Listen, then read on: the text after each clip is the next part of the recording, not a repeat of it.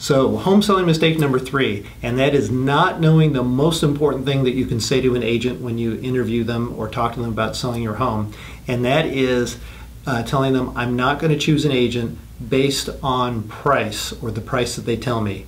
I'm going to choose an agent who I feel is the best agent. And the reason that's important is that unfortunately, many agents get business by overpromising on the price.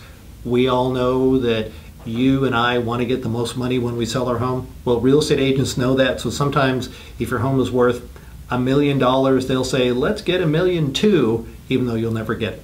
So just tell them, I'm not going to choose an agent based on price.